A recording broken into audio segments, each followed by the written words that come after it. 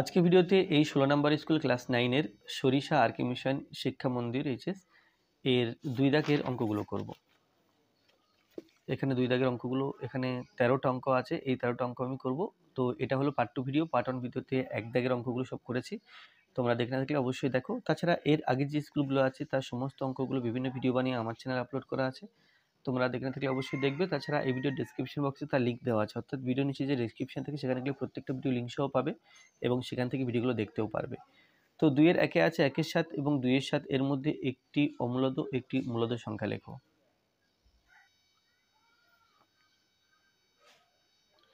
তাহলে এখানে আছে একের সাত আর দুইয়ের সাত নিচে যেহেতু দুই ক্ষেত্রে সাতই আছে, তাহলে আমরা এক আর দুইয়ের মাঝামাঝি কোনো সংখ্যা নেব। কিন্তু এক আর দুইয়ের মাঝখানে কোনো পূর্ণ সংখ্যা নেই। সুতরাং আমরা এটাকে তিন দিয়ে গুণ করে নিলে তিন, আর এটাকে ছয়, তখন কিন্তু আবার এর মাঝখানে অনেক সংখ্যা পাবো। তাহলে এখানে তিন বাই তিন করলাম। দুই করলেও হতো, দুই করলেও পেতাম। তবে কি দুই করলে হতো, আমি তিন করলাম। চার দিয়ে গুণ করলেও আমরা অনেক সংখ্যা পেতাম। তো যাই হোক, এখানে তিন দিয়ে গুণ করলাম, তাহলে তিন সাথে একুশ, আর এর নিচেও একুশ রাখব, সেইভাবে গুণটা করছি।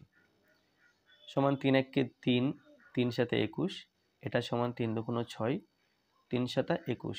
দুই দিয়ে গুণ করলে দুই এককে দুই, আর এখানে দুই দুগুণ চার, দুই আর চারের মাঝখানে আমরা একটা সংখ্যা পেতাম, তিন পেতাম। আর এখানে যেহেতু তিন গুণ করেছি, তাহলে তিন এবং ছয়, এর মাঝখানে আমরা চার, পাঁচ দুটো সংখ্যা পাচ্ছি। চার দিয়ে গুণ করলে আরও বেশি পেতাম, তাহলে আমাদের যেহেতু এখানে একটি অম্লদ সংখ্যা এবং একটি মূলদ সংখ্যা চেয়েছে, সুতরাং তিন দিয়ে দুই দিয়ে গুণ করলে হতো, আমি তিন দিয়ে গুণ করলাম, তাতে অসুবিধা নেই। তো সুতরাং একের সাত ও দুইয়ের সাত এর মধ্যে মূলত সংখ্যা একটা চেয়েছে, তো আমরা এখানে তিনের একুশের পরে চারের একুশ বলতে পারি, আবার পাঁচের একুশও বলতে পারি। আমি এখানে দুটো লিখে দিলাম। আর এর চেয়ে বেশি লিখতে হলে তখন বড় সংখ্যা দিয়ে গুণ করতে হতো। তাহলে মূলত সংখ্যা সহজে পাওয়া গেল। এবার অমূলত সংখ্যা পাওয়ার ক্ষেত্রে আর এই পদ্ধতি কাজে লাগবে না। সেক্ষেত্রে এই একের সাত আছে সাত দিয়ে এককে ভাগ করতে হবে। দশমিক নিয়ে শূন্য নিলাম, সাত এককে সাত। তাহলে তিন হলো একটা শূন্য। তাহলে চার সাত আট, চার সাত আঠাশ। এই পর্যন্ত থাক, এটা এখন আর ভাগ করব না। পরেরটা করে দেখি, এটা আছে দুই বাই সাত। অতএব দুইকে সাত দিয়ে দশমিক নিয়ে শূন্য নিলাম। এখানে তিন, সাত দুকোনো চোদ্দ, এটা ছয়। তাহলে ছয় হলো এখন শূন্য তো পাচ্ছি, সাত নং তেষট্টি, সাত আটটা ছাপ্পান্ন। তাহলে এখানে পেলাম পয়েন্ট টু এইট এখানে পেলাম ওয়ান ফোর তাহলে পয়েন্ট অ্যাকচুয়ালি পয়েন্ট ওয়ান নিলেও হতো, এখানে পয়েন্ট টু নিলেও হতো। তাহলে পয়েন্ট ওয়ান এবং পয়েন্ট টু এর মধ্যে অনেক অমূলত সংখ্যা, কয়েক কোটি অমূলত সংখ্যা আছে বা অসংখ্য অমূলত সংখ্যা আছে। তাহলে অতএব একের সাত ও দুইয়ের সাত এর মধ্যে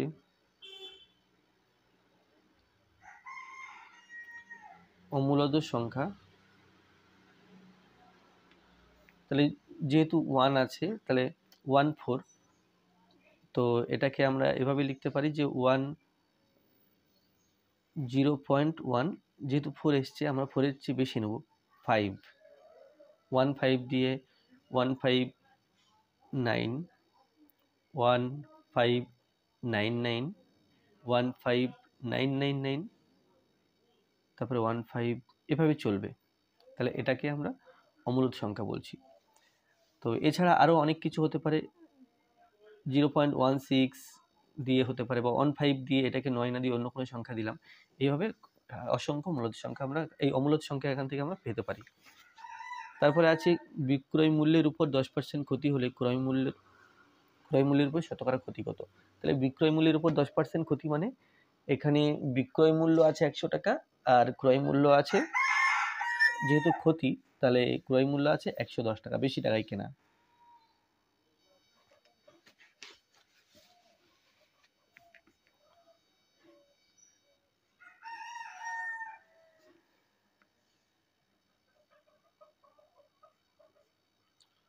বিক্রয় মূল্যের উপর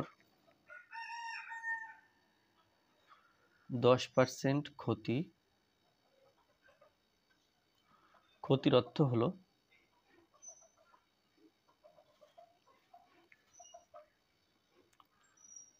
ক্রয় মূল্য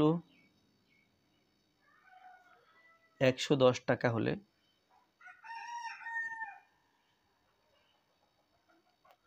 বিক্রয় মূল্য একশো টাকা। অর্থাৎ ক্ষতিটা যার উপরে হবে, যদি ক্রয় মূল্যের উপরে হয়, তখন ক্রয় মূল্যকে একশো টাকা রাখতে হবে। যদি বিক্রয় মূল্যের উপর হয়, তাহলে বিক্রয় মূল্যকে একশো টাকা রাখতে হবে। তাহলে সেই হিসাবে বাক্যটা লিখতে হবে। তাহলে এখানে ক্রয় মূল্য ক্রয় মূল্য একশো দশ টাকা হলে বিক্রয় মূল্য হচ্ছে একশো টাকা এবং ক্ষতি ক্ষতি হলো দশ টাকা। এবার এই ক্ষতিটা ক্ষতিটা ক্রয় মূল্যের উপরে চাইছে। অতএব ক্রয় মূল্য একশো দশ টাকা হলে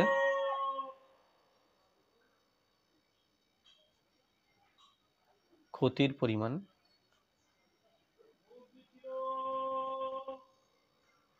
ক্ষতির পরিমাণ দশ টাকা। তাহলে ক্রয় মূল্য এক টাকা হলে ক্ষতির পরিমাণ এটা দশ আর তার নিচে একশো দশ আসবে। তারপরে ক্রয় মূল্য যদি একশো টাকা হয়, তাহলে ক্ষতির পরিমাণ কত? সেটার নামই হচ্ছে ক্রয় মূল্যের উপর শতকরা লাভ। তাহলে দশ ইন্টু একশো, তার নিচে একশো দশ। তাহলে এটা কেটে গেল, তাহলে এটা হলো একশো বাই এগারো।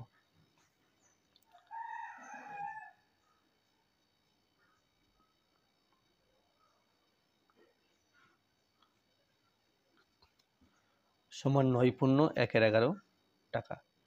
অতএব ক্রয় মূল্যের পরে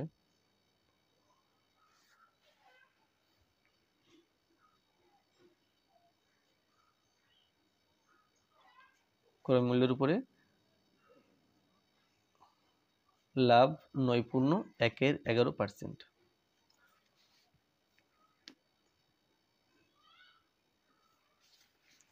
দুই তিন দিকে আছে এফ এক্স সমান এটা হলে এফ অফ জিরো এর মান কত? তাহলে এখানে যে রাশিমালাটি আছে, আমি এই এক্সের জায়গাগুলোতে ফাঁকা রেখেছি আর এফ অফ ফাংশন অফ এক্সের জায়গাতে ফাংশন অফ জিরো লিখেছি। তো এই যে এক্স জায়গাগুলোতে ফাঁকা রেখেছি, এখানে শূন্য লিখব। তাহলে পেলাম বি মাইনাস সি আর এটা শূন্য মাইনাস বিসি অতএব এটা মাইনাস বিসি হবে। তাহলে মাইনাস বিসি হয়ে গেল।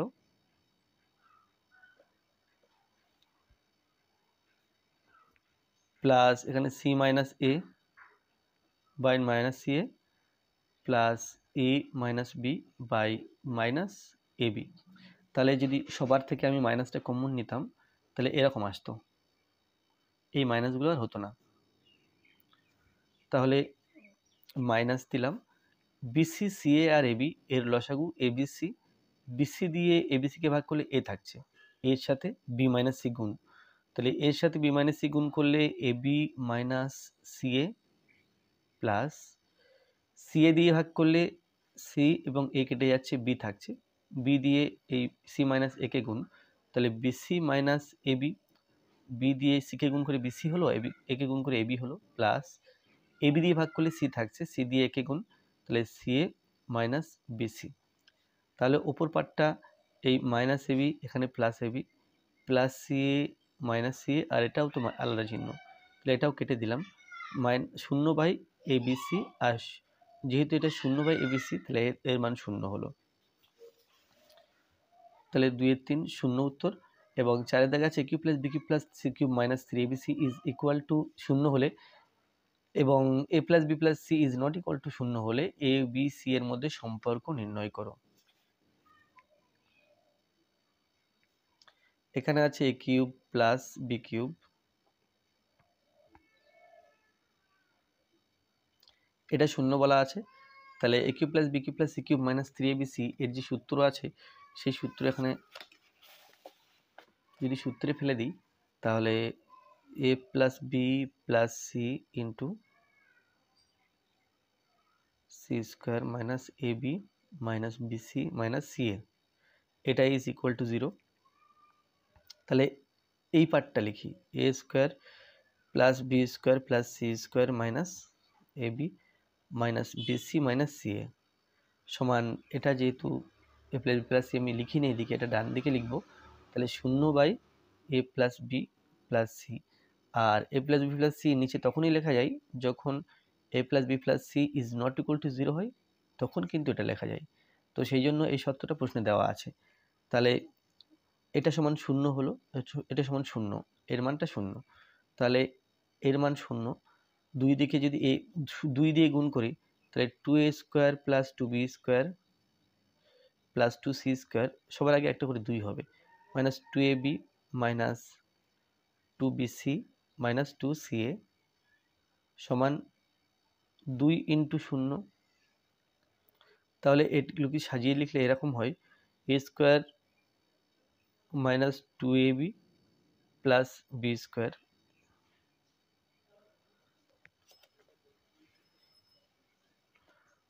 B square minus two B C plus C square R C square minus two C A plus A square এটা সমান শূন্য।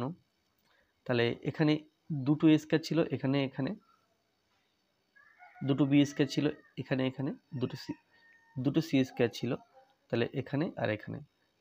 মাইনাস টু এ বি এখানে মাইনাস টু বি সি এখানে minus two C এখানে। অর্থাৎ এখানে যা যা ছিল, এখানে ঠিক তাই তাই লেখা হয়েছে একটু সাজিয়ে। তাহলে এই প্রথম পার্টটাকে A minus B whole square লেখা যাবে, পরের পার্টটাকে B minus C whole square R তারপরেরটাকে C minus A whole square সমান শূন্য। তাহলে যখন দুটো বা তার বেশি সংখ্যার বর্গের যোগফল শূন্য হয়, তখন এরা পৃথকভাবে শূন্য হয়। অর্থাৎ বলা যাবে অতএব এ মাইনাস বি সমান শূন্য বা এ সমান বি এখানে বলা যাবে বি মাইনাস সি সমান শূন্য বা বি সমান সি আর সি মাইনাস এ সমান শূন্য। এখান থেকে সি সমান এ তাহলে এখানে পেলাম এ সমান বি বি সমান সি আর সি সমানে, তাহলে অতএব এ সমান বি সমান সি তাহলে এটাই এবিসি এর মধ্যে সম্পর্ক।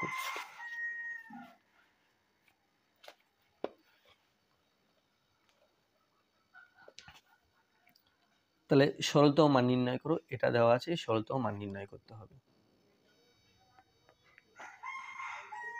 এটা সমান ওয়ান বাই ওয়ান প্লাস এখানে এ মাইনাস বি আছে, অর্থাৎ এটা X to the power A by X to the power B plus one by one plus এটা বি মাইনাস এ আছে, অর্থাৎ এটা X to the power B by X to the power A তাহলে এটা হলো ওয়ান বাই এখানে X to the power B আছে, আর এর নিচে এক আছে, তাহলে লসাগু হবে X to the power B এক দিয়ে এক্স টু দি পাওয়ার বিকে ভাগ করলে এটাই থাকছে, তাহলে এর সাথে এই ওপরে একের গুণ তাহলে X to the power B plus এখানে X to the power A একইভাবে এখানে হবে X to the power A X to the power A plus X to the power B তাহলে ওয়ান বাই কোনো ভগ্নাংশ থাকলে সেটাকে উল্টে লিখতে হয় অর্থাৎ X to the power B by X to the power B plus X to the power A plus X to the power A by X to the power A plus X to the power B তো এটা আগে পরে আছে, আর কোনো সমস্যা নেই। তো আমি এটাকে একটু, এটাকে এ, এটাকে বি লিখতে পারি। কারণ যোগের সময় আগে পরে লেখাই যায়। তো এখানে X to the power A plus X to the power B দুয়ের মধ্যে আছে এটা লসাগু। ওপরে হবে X to the power B plus X to the power A তাহলে এটা আর এক লাইন লিখলে X to the power A plus X to the power B আর নিচে X to the power A plus X to the power B ওপর নিচে যেহেতু একই এলো কাটাকুটি করে এটা এক উত্তর।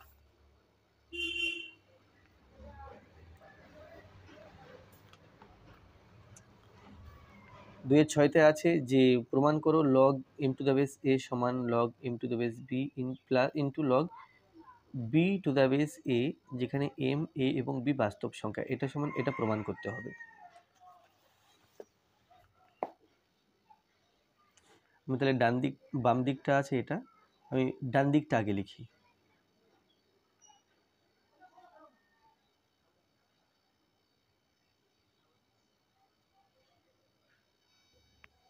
তাহলে এখান থেকে লেখা যায়, এটাকে log M by log log এখানে বি এখানে যে কোনো একটা আলাদা বেস নিলাম প্লাস এখানে প্লাস আছে। প্লাস না ইন্টু আছে। Into log B log A এখানে বেস এক্স নিলাম। তাহলে এখন এটা উপর নিচে কেটে দেওয়া যাচ্ছে। তাহলে পেলাম log M to the base X by log A to the base X তাহলে যেহেতু উভয়ের বেস সমান, তাহলে এটাকে লেখা যাবে log M to the base A তাহলে অতএব log M to the base A এটা সমান লেখা যাচ্ছে log M to the base B into log B to the base A বা এটাকে অন্যভাবে করা যায় log M to the base B এটা সমান এক্স ধরলাম। তাহলে এখান থেকে পাচ্ছি যে X to the base B এখানে পাচ্ছি B to the base X সমান M R log B to the base A এটা সমান ওয়াই তাহলে এটা ধরে নিলাম। তাহলে A to the base Y এটা সমান বি তাহলে অতএব এখান থেকে যদি বলা হয় যে এ সমান A to the power Y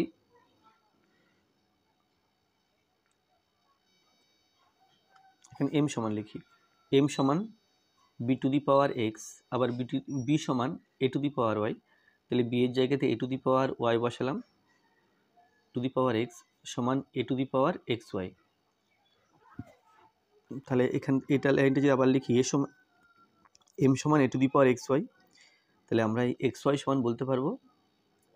x Y সমান log M to the base A, বা উল্টোভাবে লিখলে log M to the base A, এটা সমান এক্স ওয়াই এক্সের মান এটা log M to the base B into, এটা ওয়াই ওয়াইয়ের মান log B to the base A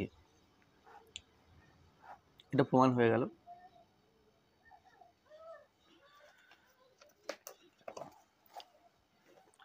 এরপরে ছয় দাগে আছে যে, সাত দাগে আছে এবিসি ত্রিভুজের মধ্যমা। এবিসি ত্রিভুজের এডি মধ্যমা। এসি বাহুর উপর পি এমন একটি বিন্দু যাতে এডিপি এর ক্ষেত্রফল ইস টু এডিবি এর ক্ষেত্রফল টু ইস টু থ্রি হয়। তবে পিডিসি এর ক্ষেত্রফল ইস টু এবিসি এর ক্ষেত্রফল কত হবে হিসাব করো। তাহলে এখানে ত্রিভুজের কোনো ধরন বলা নেই, সুতরাং যে কোনো ত্রিভুজ আঁকা যাবে। আমি একটা বিষমবাহু ত্রিভুজ আঁকলাম এখানে। এ বি সি এখন এডি মধ্যমা বলা আছে। এই বিসি এর মধ্যবিন্দু ডি তাহলে এটা হলো এডি এর মধ্যমা। এবার বলা আছে এসি এর উপর পি যে কোনো একটি বিন্দু, আমি বিন্দুটা এরকম জায়গাতে নিলাম। এটা পি বিন্দু। তাহলে এসির মধ্যে পি এডিপি ত্রিভুজ এ ডিপি এই যে ত্রিভুজটা দেখা যাচ্ছে, এই উপরের ত্রিভুজটা এ বিডি এ বিডি এই সাইডের ত্রিভুজটা, এর অনুপাত টু ইস টু থ্রি বলা আছে। তাহলে এটা আর এই পার্টটা এর অনুপাত টু ইস টু থ্রি বলা আছে। আমি এটা যদি আলাদা করে কালার করে দিই, এই কালার ত্রিভুজটা এবং এই ত্রিভুজটা, এটা বলা আছে টু ইস টু থ্রি তাহলে পিডিসি অর্থাৎ পিডিসি এই সাদা কালারের ত্রিভুজটা এবং এবিসি অর্থাৎ মোট ত্রিভুজ, এর ক্ষেত্রফল নির্ণয় করতে হবে। তাহলে এখানে এডি যেহেতু মধ্যমা, আমরা জানি মধ্যমা ত্রিভুজকে দুটি সমান ক্ষেত্রফল বিশিষ্ট ত্রিভুজে ভাগ করে। অর্থাৎ মধ্যমার এই দিকের ভাগ এবং এই দিকের ভাগ, দুই দিকের ভাগের ক্ষেত্রফল সমান। তাহলে এডি মধ্যমা অতএব ত্রিভুজ এ বি ডি অর্থাৎ এদিকের ভাগটা, এর ক্ষেত্রফল সমান ত্রিভুজ এ ডিসি এর ক্ষেত্রফল। তাহলে এই দুটো ক্ষেত্রফল সমান, যেহেতু এটা মধ্যমা আচ্ছা এবার বলা আছে যে এ বিডি আর এ ডিপি তাহলে ত্রিভুজ এ বিডি এবিডি বলা আছে, আর বলা আছে ত্রিভুজ এ ত্রিভুজ এ ডিপি এ ডিপি তাহলে আগে এডিপি বলা ছিল এ ডিপি এটা বলা আছে। তাহলে আমি এখানে ধরে নেব, যেহেতু এই দুটোর ক্ষেত্রফলের অনুপাত টু ইস টু থ্রি বলা আছে এটা টু এক্স আর এটা থ্রি এক্স তো এটা টু এক্স এবং এটা থ্রি এক্স ধরলাম। তো এই যে মোট এ ডিপি এটা হচ্ছে এই টোটাল যে ত্রিভুজটা আছে, এর তিন ভাগের দু ভাগ তাহলে এটা এটা বর্গ একক, যে ত্রিভুজের ক্ষেত্রফল।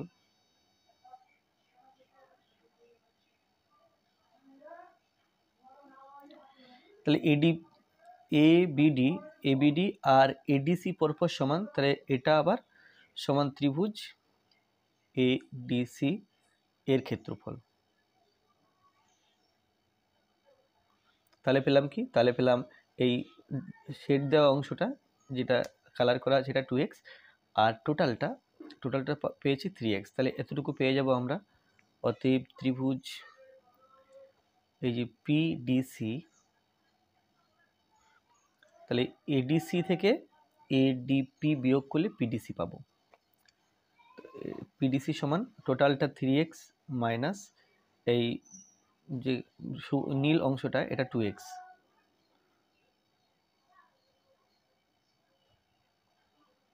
তাহলে পেলাম সমান এক্স বর্গ একক। আর ত্রিভুজ এবিসি সমান তাহলে এই দিকেরটা, এটা ত্রিভুজ এবিসি সমান ত্রিভুজ এ বিডি প্লাস ত্রিভুজ এ ডিসি অর্থাৎ এ সাইডটা আর ও সাইডটা এ এবিডিও এক্স থ্রি এক্স এ এডিসিও থ্রি এক্স তাহলে এটা three X degree three X একক, বর্গ একক প্লাস থ্রি এক্স বর্গ একক। সমান সিক্স এক্স বর্গ একক। তাহলে এই দুইয়ের অনুপাত হবে, অতএব ত্রিভুজ পি ডিসি ইস টু ত্রিভুজ এবিসি এখানে পিডিসি এটা ছিল এক্স আর এবিসি এটা হলো সিক্স এক্স সমান ওয়ান ইস টু সিক্স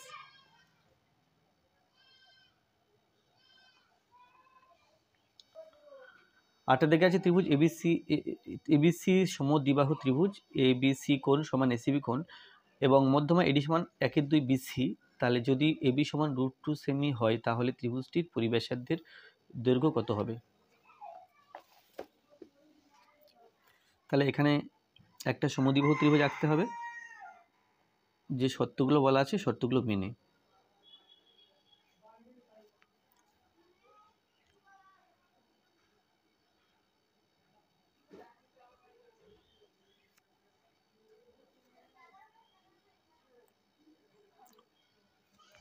তাহলে ত্রিভুজটি মোটামুটি এরকম এ বি সি আর এর এডি মধ্যমা বলা আছে, তাহলে বিসি এর মধ্যবিন্দু টি তার সাথে এ বিন্দু যুক্ত করলাম, তাহলে এটা ডি এখন বলা আছে এবি সমান রুট টু সেমি, আর বলা আছে এডি সমান হাফ বিসি এবার এর যদি পরিবেশাদ্য বের করতে হয় পরিবেশ তাহলে এডি সমান এই বিসি এর অর্ধেক, অর্থাৎ এটা যদি এক্স হয়, তাহলে এটা বিসি এর অর্ধেক।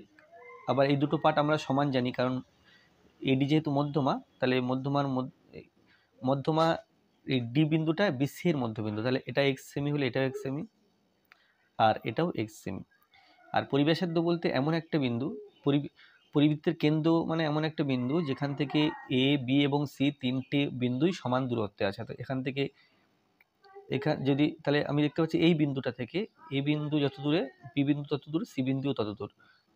কারণ এখানে সেইভাবে দেওয়া আছে। তাহলে এখানে পরিবেশাদ্য এডি বলতে পারি, বা বিডি বলতে পারি, বা ডিসি বলতে পারি, কারণ এই বিন্দু থেকে বি, এ এবং সি সবকটা বিন্দু সমান করতে আছে। তাহলে এখানে প্রথম বলতে হবে যে, যেহেতু এডি মধ্যমা এডি ত্রিভুজ এবিসি এর মধ্যমা।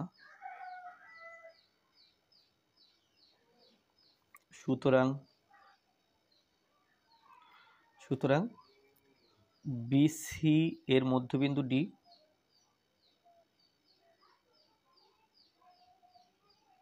বিসি এর মধ্যবিন্দু ডি অতএব বিডি সমান ডিসি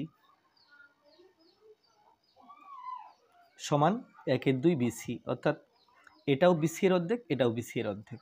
তাহলে এখান থেকে বলা যায় একের দুই বিসি মানে এটা ইজ এডি তাহলে বিডি সমান ডিসি সমান একের দুই বিসি সমান এডি সমান এক্স সেমি ধরে নিলাম। তাহলে এই প্রত্যেকটা মান আমি এক্স সেমি ধরে নিলাম।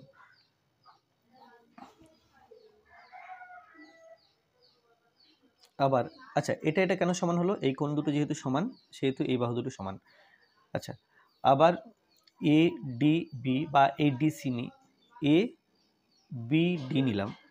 এ বি ডি একটি সমকোণী ত্রিভুজ।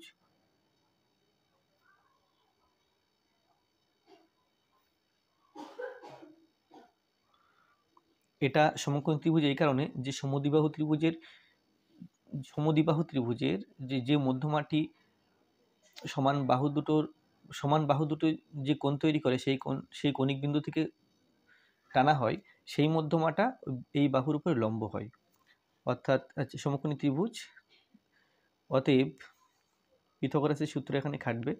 অতএব এবি স্কোয়ার সমান AD square plus BD square, এটা পিথাগোরাসের সূত্র অনুযায়ী।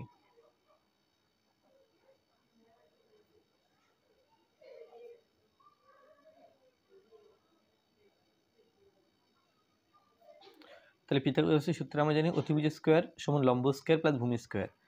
তাহলে এখানে এ বি এর মান রুট টু তার হলে স্কোয়ার। এ ডি এক্স ধরেছিলাম এক্স স্কোয়ার। বিডিও এক্স স্কোয়ার ধরেছিলাম। এখান থেকে পাবো টু এক্স স্কোয়ার সমান রুট টু হলে স্কোয়ার করলে টু বা এক্স স্কোয়ার সমান টু বাই টু এটা ইজ ইকুয়াল টু ওয়ান তাহলে এখান থেকে পাবো এক্স সমান root one is equal to one এখানে প্লাস মাইনাস নিলাম নিলাম না, কারণ এক্স যেহেতু বাহুদুর্গ বাহুদুর্গ কখনো মাইনাস হয় না, সুতরাং এখানে অনলি প্লাস নিতে হবে। তাহলে এক হলো, তাহলে অতএব পরিবেশাধ্য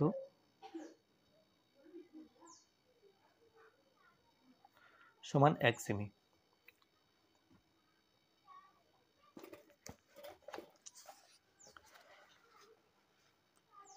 আচ্ছা নয় দাগে আছে যে চার কমা তিন ও পাঁচ কমা মাইনাস চার বিন্দুদ্বয় সংযোজক রেখা এক্স অক্ষ দ্বারা কি অনুপাতে বিভক্ত হয়েছে?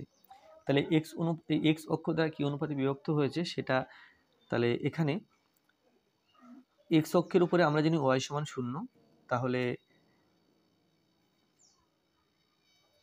এটা ধরে নিলাম যে এম ইস টু এন অনুপাতে বিভক্ত হয়েছে এক্স অক্ষ দ্বারা। এই হ্যাঁ এক্স অক্ষ দ্বারা। তাহলে এখানে লিখতে মনে করি এক্স অক্ষ দ্বারা এম ইস টু এন অনুপাতে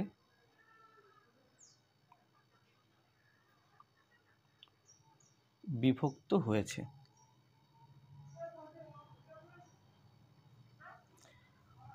তাহলে এক্স অক্ষের যে বিন্দুতে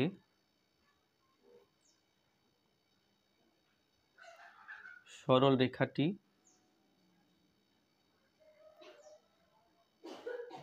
ছেদ করে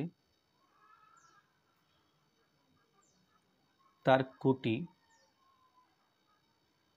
কোটি সমান শূন্য বা ওয়াই সমান শূন্য।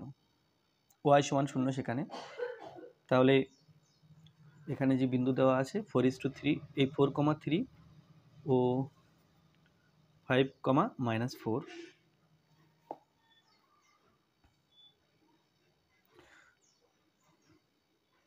বিন্দু দয় সংযোজক রেখাংশ এক্স অক্ষকে যে বিন্দুতে ছেদ করে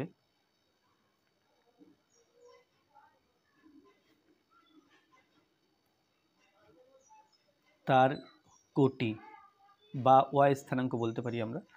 ওয়াই স্থানাঙ্ক হচ্ছে সূত্র M Y two plus N Y one by M plus N, এটা সমান শূন্য। তাহলে এখানে ওয়াই, এম দিলাম ওয়াই টু ওয়াই টু অর্থাৎ মাইনাস ফোর। এন দিলাম ওয়াই ওয়ান ওয়াই ওয়ান এখানে three. By M plus N is equal to শূন্য। তাহলে minus four M plus three N by M plus N is equal to zero. তাহলে এখান থেকে বলা যায় যে minus four M plus three N is equal to শূন্য। M plus এনের সাথে শূন্য গুণ করলে শূন্যই হয়। বা মাইনাস ফোর এম সমান প্লাস থ্রি এনকে ডান দিকে নিয়ে গেলে মাইনাস থ্রি এন হচ্ছে মাইনাস মাইনাস কেটে যাচ্ছে। তাহলে এখান থেকে বলা যায় বা এম বাই এন সমান এম বাই এন সমান তিন বাই চার। তাহলে এখান থেকে বলব এম ইজ টু এন সমান থ্রি ইজ টু ফোর অর্থাৎ এক্স অক্ষ দ্বারা থ্রি ইজ টু ফোর অনুপাতে বিভক্ত হয় প্রদত্ত যে বিন্দু দুটো আছে সেই বিন্দুদ্বয় সংযোজক রেখাংশ। এবার আছে এখানে যে একটি বৃত্তা, একটি বৃত্তাকার ক্ষেত্রে ব্যাসার্ধের দৈর্ঘ্য আর মিটার, অন্য একটি বৃত্তাকার ক্ষেত্রের ব্যাসার্ধের দৈর্ঘ্য কত হলে তার ক্ষেত্রফল প্রথম বৃত্তের ক্ষেত্রফলের এক্স গুণ হবে? তো প্রথম বৃত্তের ক্ষেত্রফল তাহলে বের করে নিই, সেখানে আর মিটার ব্যাসার্ধ দেওয়া আছে।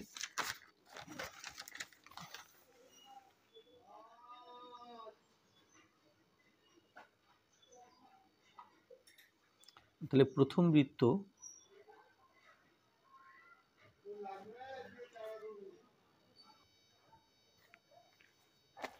প্রথম বৃত্তের ব্যাসার্ধ সমান আর মিটার অতএব ক্ষেত্রফল সমান পাই আর স্কোয়ার বর্গমিটার আচ্ছা দ্বিতীয় বৃত্তের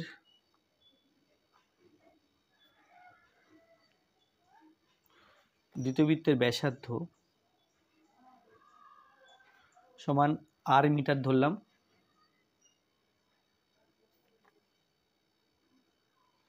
দ্বিতীয় বৃত্তে ব্যাসার্ধ আর মিটার ধরলাম, অতএব ক্ষেত্রফল সমান পাই, ক্ষেত্রফল সমান পাই আর স্কোয়ার বর্গ মিটার।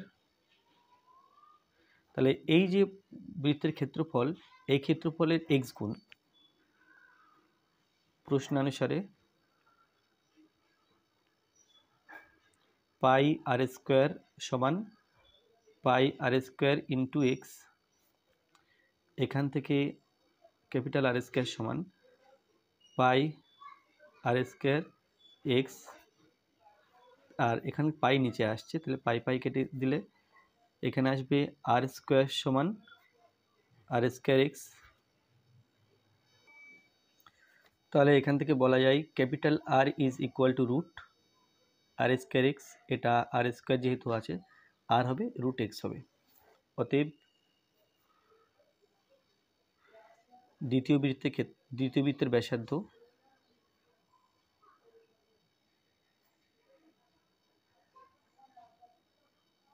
সমান আর রুট এক্স মিটার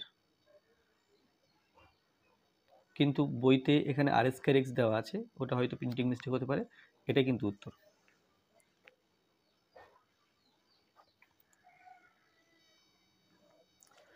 একটি আয়তক্ষেত্রে পরিসীমা চৌত্রিশ সেন্টিমিটার, ক্ষেত্রফল চৌষট্টি, এই ক্ষেত্রফল ষাট বর্গ সেমি আয়তক্ষেত্রটি প্রতিটি কর্ণের দৈর্ঘ্য কত হবে?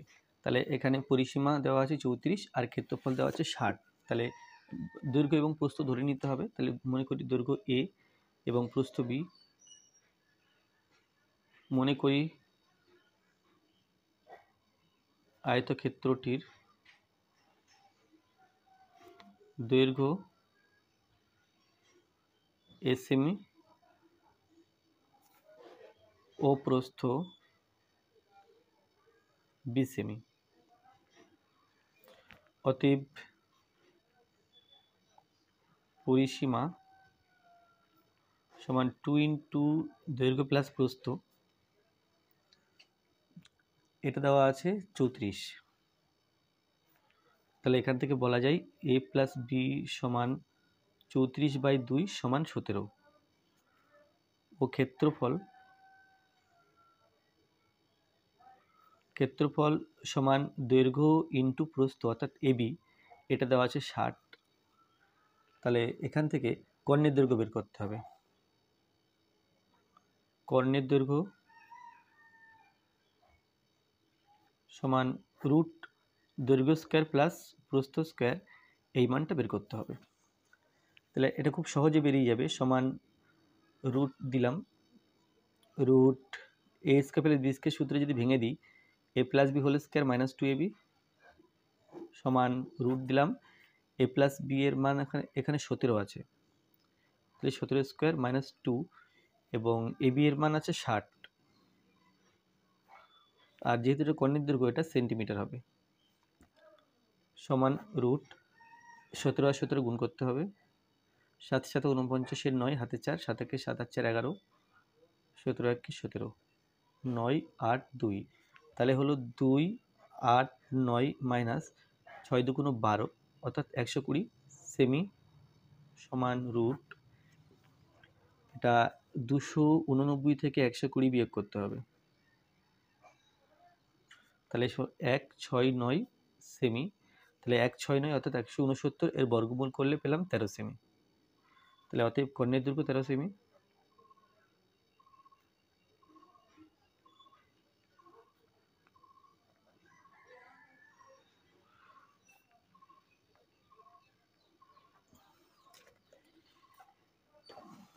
এরপরে বারোর দাগে আছে একটি অবিচ্ছিন্ন পরিসংখ্যা, একটি অবিচ্ছিন্ন পরিসংখ্যা বিভাজন তালিকার শ্রেণি মধ্যবিন্দু এম, উচ্চ সীমানা, ইউ হলে নিম্ন সীমানা কত তাহলে নিম্ন সীমানা এখানে জানা নেই, তাহলে সেটা এক্স ধরে নিই। মনে করি মনে করি নিম্ন সীমানা,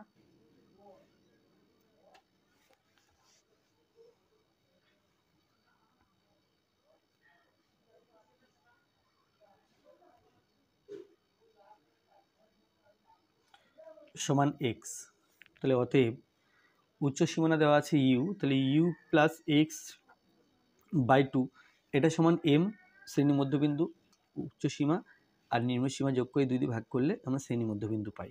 তাহলে এখান থেকে U plus X is equal to two M তাহলে এখান থেকে বলা যাবে বা X is equal to two M আর ইউটাকে ডান দিকে আনলে মাইনাস ইউ তাহলে এটা কিন্তু সেই নিম্ন সীমানা অর্থাৎ নিম্ন